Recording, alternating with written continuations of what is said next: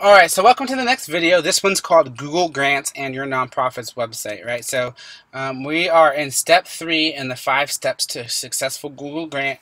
And, you know, we're going to go over everything that, you know, well, actually not everything. We don't have enough time for all that, but we're going to go over a lot of key things that your nonprofit's website should have in place when using your Google Grant so that you get the most from it, right? And so it's these five topics we're going to briefly go over here today.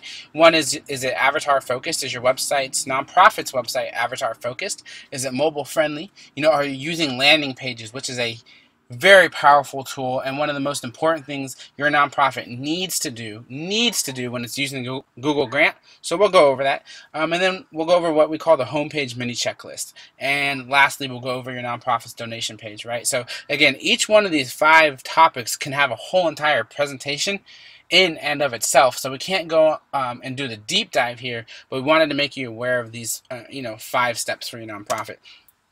So up first is your nonprofit's website avatar focused, right? So, you know, have you taken the time, you know, you, you're really familiar with avatars. Hopefully you've made yours by now, right? But after you've done that, you know, one of the first things you want to do is, you know, go back to your website and think, hey, is my donor avatar, my volunteer avatar, or those I serve avatar, and those that I need to get this awareness out to, you know, is my website set up for them 100%, or does my website prioritize them, right? So you can go through your website and update it, and you'll be surprised. The results from doing so um, are just very powerful. Uh, you know, in the case of Boys to Men, which we referenced earlier, right? So they have, they know their avatars very, very well and who they're attracting. So their volunteers or mentors, right? Um, they have a lot of great information set up on their website for them and use their Google grants that way. And then when it comes to their donors, they, they're very familiar and aware of who their mission resonates with, right? So they've taken the time um, when we built this website for them a few years back uh, to understand that and implement that across their website. So by the time they got using the Google Grant, everything was set up the right way. Next, uh, you know, we'll stay with Boys to Men here um, and their website, but it's definitely mobile friendly. So here's just a snapshot of their homepage on the left, and this is what it looks like when it's, you know, spread out on someone's desktop or laptop. And on the right here is what it would look like on a cell phone. So that's mobile friendly. And again, this is huge because, uh, you know, Google will no longer show websites on Google that are mo uh, mobile friendly moving forward. So that's just a really big deal. Plus, it's just better for the website visitors, right? With the Google Grant, you're going to be getting upwards of 5,000, you know, website visitors or more every month. And if it's not mobile friendly, you're actually going to be losing the majority of your website visitors' interest and um, unable to start building relationships with those important people.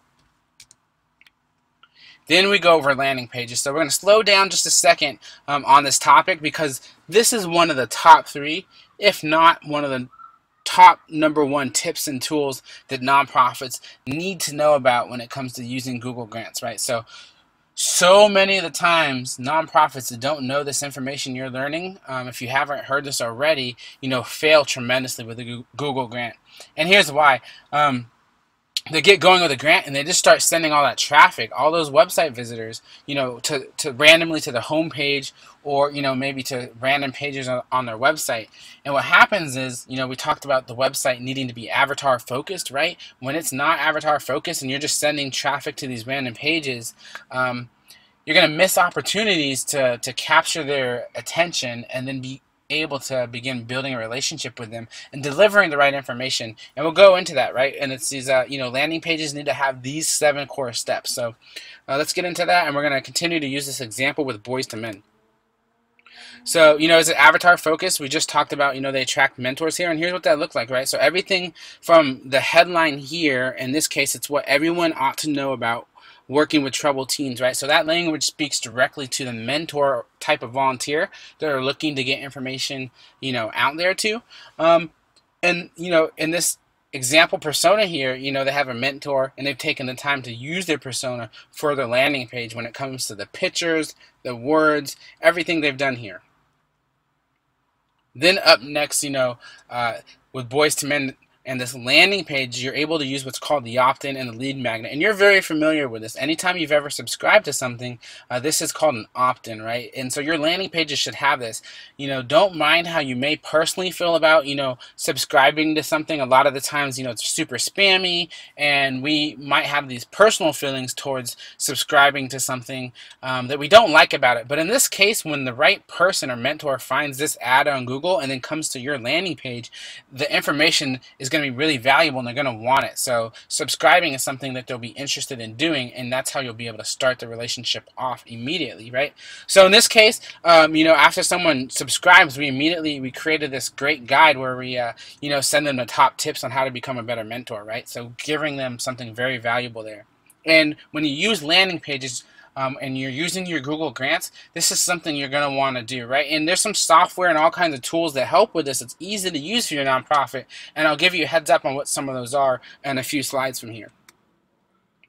You know, next, uh, this is again a, a, big topic in and of itself, but I wanted to reiterate how important the words are on your landing pages. You know, they need to be well thought out. They can't just be this random um, information that your you know your staff member, maybe you know your director creates. It needs to be strategic and use a lot of marketing best practices to get the best results with it. So, you, good thing you're learning this information here.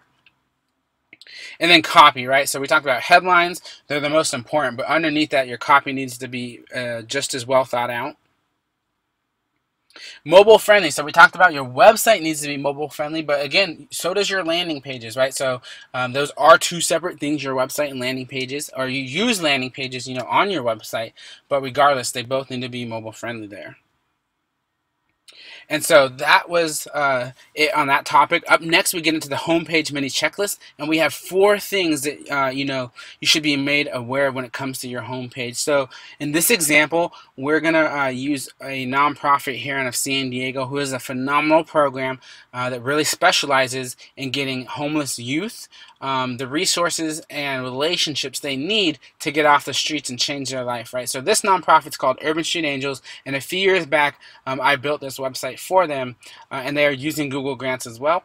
Um, but with those, we're going to use these four, uh, use them as an example and go over these four things um, that you're going to want to keep top of mind for your nonprofit as well, right? So when a brand new website visitor comes to your website, the number one thing they should be able to ask here is, you know, they need to be able to um, answer you know your, your your homepage needs to be able to answer you know what is this right? And so right away when you come to urban street angels it says ending youth homelessness. So immediately this website visitor knows what this you know nonprofit is about and, and takes a stand for. Up next is you know point number two what do they have here right? So immediately you know there's a donate now or learn more button but below that they have um, some some parts on their website where it says you know what we do who we are and gets into a little bit more information that directly answers what does this nonprofit have here on this homepage um, and their website, right?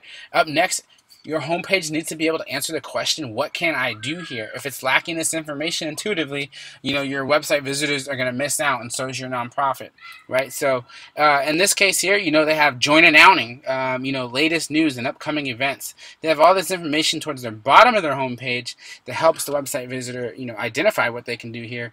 And last but not least, you know, sometimes whether you realize it or not, your nonprofit may be competing for donors that are looking to support causes, right? So if I'm a donor that works really hard for my money and I'm looking to make a donation, you know, I may look up and review a couple nonprofits. And if your website and your homepage can answer this question of, you know, why should I be here and give my hard-earned money toward your, towards your cause and not somewhere else, you know, you'll be able to um, have much more impact with that website visitor. So I hope a lot of that made sense. If anything didn't, again, be sure to ask a question in the box below the video, and I uh, can answer that for you there. And then, arguably, one of the, if not the most important, you know, page on your website is your donation page, right? And again, this is a topic that I can do a whole entire presentation on, you know, in and of itself here plus combined with all the you know fundraising strategies that one needs to successfully use a donation page. But uh, we can't get into all that but we just wanted to go over these four points. And so for this example this is another nonprofit that I helped to build a website for a few years back and they're called Support Salabai. And they're an amazing nonprofit that helps fight human trafficking in Cambodia through um, education and job training and all kinds of um, great resources in that community, right? So uh, you know, with this donation page here, you know, it's avatar focused. So we, we knew a lot about what, you know, their ideal donor was, and we were able to build this page around that information. You know, next is your donation page transparent. And what we mean about that is, you know, a lot of the time, so many nonprofits just put four prices or four amounts, you know, on their donation page, on their pay, PayPal page. And, um, you know, ask people to come to that page and make a donation. But when you are transparent and you say something along the lines of, you know, uh, where we did here with, in this example is, you know, hey, $11.50, you know, provides full housing and accommodations for an entire student for one month. So when you're able to, uh, you know, transparently show how a donation is used, um, with as simple as two sentences, like in this example, you know, your donors and those that are looking to support you can really resonate with you on a deeper level. Um, you know, another example here is that, so for fourteen dollars, you know, we'll supply a student with all the supplies they need for one year, right? So fourteen dollars is able to provide all that, um, in this in this example and that's a you know it's, it's, important for a donor to just see that and realize that. You know up next is you know is your donation page fast right? So we just want to make sure it's not slow it doesn't load slow it's not clunky. You'll lose some donations because of that especially um, in volume using Google Grants. And then you know is it easy to use right? It just it, um, if it's complicated or looks confusing a lot of people won't trust it and they might not donate Okay, so earlier in the presentation, you heard me mention that I'd briefly go over some of the best resources that I could recommend when it comes to, uh, you know, your website and some landing pages. So really quickly, um, on the topic of, uh, you know, a website. So you may already have a website for your nonprofit that's great, it's easy to use, and you love it. You might not, but just wanted to let you know that everything we build for any nonprofit here at Mission Boost begins with WordPress um, when it comes to a website. And the number one reason uh, there's many, there's many, but the number one reason is how customizable WordPress is with, you know, whatever setup your nonprofit already has when it comes to, you know, you're already using PayPal or some type of special online donation system, you know, are, are using Constant Contact or whatever software you're using to send out emails to your, your database and all the tools that it takes to succeed online, WordPress works with. And above all else, it works great with Google Grants, right? So wanted to give you that quick tip there. And then for those of you that might not have the ability to quickly get a landing page built you know for the different avatars um, when you're using your Google Grants there's these two softwares called Leadpages and ClickFunnels and these are templates for landing pages that have been highly designed so that means that when visitors come to them they look great and they get the most amount of clicks they're easy to use and again they integrate with pretty much um, any existing setup that you may already have so hopefully um, if you're interested in you know running landing pages for yourself, uh, take a look at those softwares there. So that brings us to the end of today's presentation. Uh, it was really short. I hope you liked it. Just wanted to, again, remind you, um, if anything popped up, uh, and if you haven't already, just be sure to leave a question in the box below.